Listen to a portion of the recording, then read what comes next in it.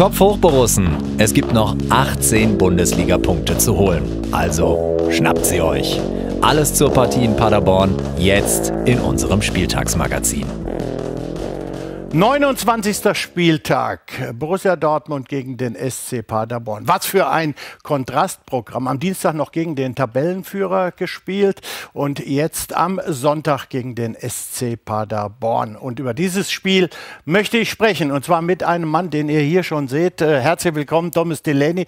Thomas, schön, dass du dir die Zeit nimmst. Dankeschön, natürlich.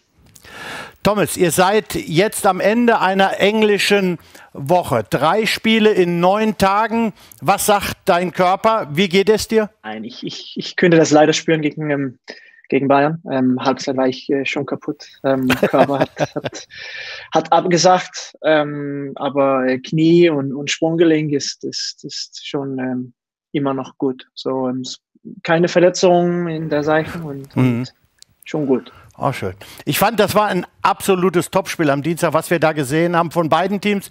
Kleinigkeiten haben meiner Meinung nach das Spiel entschieden. Wie lange beschäftigt so ein Spiel? Ja, ein, ein paar Tage natürlich. Das war ein, ein, ein Knappspiel, wie du sagst. Und, und leider hätten wir nicht ähm, die letzte Prozente mit uns, aber das war, ähm, das war ein, ein ein riesiges Spiel, natürlich auch für uns, äh, entscheiden viel im Tabell und so. Ähm, und, und, ja, leider war das ähm, nicht genug. Ja, ja, leider. Immer so ein klein bisschen. Schade, schade, schade. Ich kann mir vorstellen, dass dein persönliches Fazit nach der Corona-Pause ganz gut ausfällt. Du warst lange, lange verletzt. Jetzt hat ähm, dich die Mannschaft gebraucht und du hast geliefert. Du musst doch total happy sein, äh, dass du jetzt äh, endlich wieder zeigen kannst, was du äh, oder zeigen kannst, was du wirklich kannst. Ja, natürlich. Ähm, das, ich hatte natürlich ein bisschen Sorgen, weil ähm, sechs Monate ähm, ohne Spiel und, und diese, dieses Programm hier, wo wir hat angefangen mit zwei zusammen und dann vier, sechs und so weiter. Ähm, ich hatte insgesamt äh, auf einen großen Platz 11 gegen 11 gespielt, äh, dreimal 15 Minuten vor erstes Spiel in sechs Monaten. So, das war natürlich, ähm, ja, ich, ich war klar, aber ähm, ich, ich könnte natürlich äh, besser äh, trainiert haben, aber ähm, ja, es, es hat schon gut gegangen und, und ich bin äh, ich bin auch äh, sehr zufrieden. Erstmal ist man ganz unsicher. Man weiß nach äh, so einer langen Pause, erstmal, wenn man verletzt ist, nicht genau, wo man steht, aber, äh, aber auch nach den Trainingseinheiten. Man weiß überhaupt nichts. Ne? Nein, genau, äh, weil, weil Training ist natürlich viel anderes, auch wenn wir spielen. Ähm, so ein Trainingsspiel 11 gegen 11, das ist, äh, das ist etwas anderes. Die, die Stimmung ist, ist nicht gleich, Tempo ist nicht gleich. Ja, im, alle Kategorien ist das ähm, eine andere Welt. So natürlich hätte ich auch ähm, mich selber gefragt, ob, äh, ob das auch gut läuft. Aber ja, wir stehen hier und drei Spiele gespielt und immer noch gesund. Das ist sehr gut und sehr schön. Also, unsere Nummer 6 ist wieder da und wir wollen euch zu diesem Comeback noch ein paar Informationen liefern. Da ist er wieder. Kämpft wieder. Dirigiert wieder Thomas Delaney. So präsent, als wäre er nie weg gewesen. Doch das war er. 26. Oktober 2019, das Derby in Gelsenkirchen. Sein letzter Einsatz in Schwarz-Gelb für fast sieben Monate.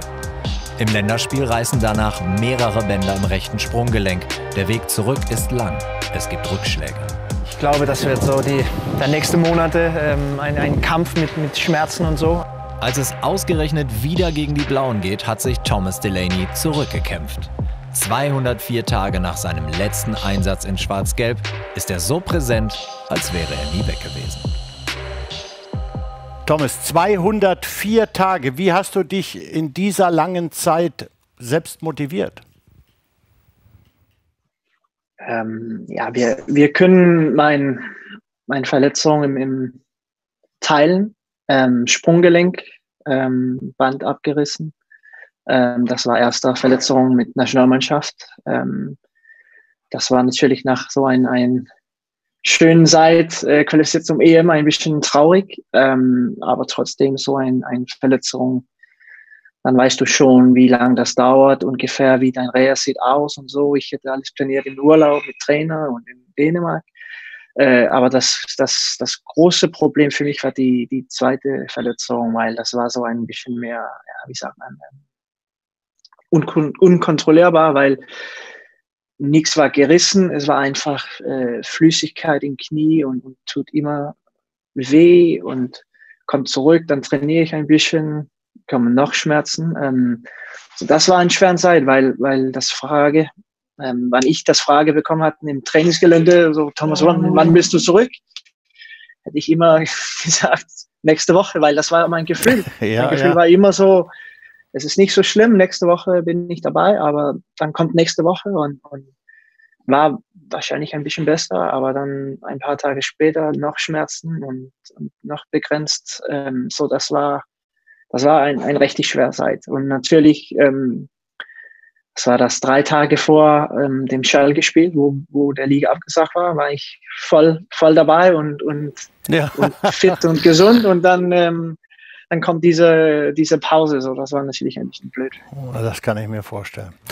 Ja, jetzt bist du wieder da, jetzt bist du wieder dabei. Wir schauen auf Sonntag. Es geht gegen Paderborn auswärts. Was glaubst du, was wird das für ein Spiel? Das wird ein, ein gutes Spiel für uns, denke ich. Ähm, natürlich anderes als, als ähm, Dienstag. Ähm, aber ich denke schon, dass wir, wir hat schon schon gut gemacht nach dieser diese Pause und, und sehr gut gespielt. Ähm, und ich hoffe auch, dass wir, wir sehen die gleiche äh, wie in die zwei, zwei ersten Spiele, dass wir, wir viel kontrollieren und, und, und viel Ballbesitz haben und, und kreieren einfach viele, viele Chancen und auch Tore. Es ging zuerst gegen den Tabellenführer, jetzt geht es gegen den Tabellenletzten. Aber die Anspannung, Thomas, da gibst du mir sicherlich recht, muss immer die gleiche sein, sonst verlierst du, ne? Ja, klar, und, und das ist auch ein großes große Thema in diesen Seiten, wo, wo der, die, ähm, die Fans nicht dabei ist. Du, du musst das, das muss von innen kommen, von dein selber, von, von innen der Mannschaft und von Trainern, dass, dass wir, wir da ist und, und alles bringt, weil das ist natürlich ein bisschen wie Kinderfußball im Moment, dass wir, wir spielen, weil es Spaß ist und, äh, und wir müssen alles bringen, ohne, ohne Frage, ob, ob da 80.000 steht oder 25 äh, Securities. Ja, das ist so, wirklich, ja. Also wir hoffen natürlich, dass schnellstmöglich wieder Zuschauer zu den Spielen dürfen, weil das ist letztendlich dann doch das Salz in der Suppe. Also äh, Tor oder nicht Tor gibt es heute nicht. Ähm, trotzdem gibt es ein Spielchen, äh, Thomas gegen Nobby. Ähm, äh, es gibt nur zwei Antwortmöglichkeiten, du oder ich. Und ich bin mal gespannt, was diesmal für Fragen kommen. Die erste Frage, eine Fußballfrage, Nobby. Wer von euch beiden hatte bei seinem Bundesliga-Debüt am Ende das bessere Ergebnis?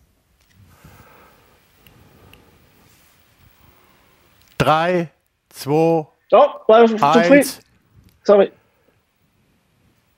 Beide sagen Nobby. Und die Antwort ist auch Nobby, denn Nobby hat in der Saison 84, 85 mit dem ersten Eintracht FC Köln Braunschweig 3 zu 1 gewonnen mit dem ersten FC Köln. Richtig. Thomas dagegen hat, kannst du dich noch erinnern? Welches Spiel war das? Äh, Bayern. Nee, wir waren's. Oder das war Dortmund. Okay, ich, ich kann nur erinnern, wir haben zwei, zwei schwere Spiele am Anfang, Bayern und äh, Genau, das, das war ein, äh, eine 1 zu 2 Heimniederlage gegen den BVB. Für Werder hat damals Bartels getroffen und für den BVB Schürle und Piszczek. Zweite Frage. Wer von euch stand bei seinem Bundesliga-Debüt länger auf dem Platz? Drei, zwei, eins. Beide sagen Thomas und haben wieder beide recht, denn. Ich habe drei Minuten gespielt, glaube ich. Völlig richtig. Du hast drei Minuten gespielt und Thomas hat durchgespielt. Du wurdest in der 87. eingewechselt ja. für Pierre Lebarski. Ich kann da noch eine Geschichte erzählen. Hier darf ich dir ja erzählen. Thomas, die ist wirklich wahr. Ich war ganz junger Spieler und äh, äh ich komme aus dem Sauerland. Das ist wirklich äh, äh, sehr ländlich. Und ich habe drei Minuten gespielt und wir waren Tabellenführer mit dem ersten FC Köln und dementsprechend war auch die Siegprämie hoch, die war gestaffelt. Und ähm, ich war vorher bei der Bundeswehr, dann hat man so 400 Mark, hatte ich damals verdient. Und dafür gab es äh, vierstellig für den Sieg. Und da habe ich gedacht, in dem Beruf musst du länger bleiben. Das ist echt gut. ja, jetzt bin ich schon ein paar Jahre dabei. Zwar jetzt nicht so lange als Aktiver, aber doch bei, äh, bei ja, Bundesligisten. Jetzt bist du Moderator und äh, unter anderem.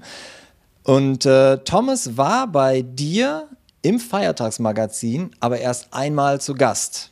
Die anderen beiden Male hat Ovo moderiert. In dieser Sendung, in der er bei dir zu Gast war, im Zweikampf, wer von euch beiden hat den gewonnen? Was war das denn für ein Spiel? War das, äh, äh, warte, war das Tor oder kein Tor oder war das? Es war Dönekes mit Fritz Lünschermann. 3, 2, 1. Das ist wieder richtig. Äh, Thomas hat gewonnen. 2 zu 1. Also 3 zu 3. Ne? Alle drei äh, äh, richtig. Also das, das hatten wir, glaube ich, auch noch nicht. Ja, dann schauen wir mal auf den äh, neuen Zwischenstand. Es ist jetzt 46 zu 45 für mich. Also ich konnte die knappe Führung behaupten. Bin ich froh. Gegen Thomas ist es ja auch nicht so einfach zu spielen. Er ist ja defensiv sehr stark und spielt länger als drei Minuten. Also das war es fast schon wieder. Thomas, eine Frage habe ich dennoch an dich. Ähm, da, wo du auf dem Platz stehst, geht es ja meistens richtig zur Sache. Das äh, zeichnet dich ja auch aus. Am Dienstag hießen deine direkten Gegenspieler Goretzka und Kimmich. Aber wer war denn so in deiner Karriere äh, ein Gegenspieler, wo du gesagt hast, oh, der war wirklich sehr, sehr, sehr, sehr, sehr gut. Wer, der war der Beste? Gibt es da jemand? Ich, ich bin ein Fan von Pirlo. Und das war natürlich auch ein, ein ein, ein großer Traum, äh, dass man wir gegen Juventus gespielt hat. Und ähm, ja, er, er, war, er war echt gut. Ich kann Schlitzohr auch, ne? Ja, ich kann erinnern, der Trainer hat gesagt, äh, pass auf, er, er macht immer so einen Schussfinte und, und, und zieht der Ball nach in sein Standbein. Und wir hatten einen, einen, einen ähm, Stürmer, der musste so draußen von Feld stehen am, ähm, hm. am e Ecken.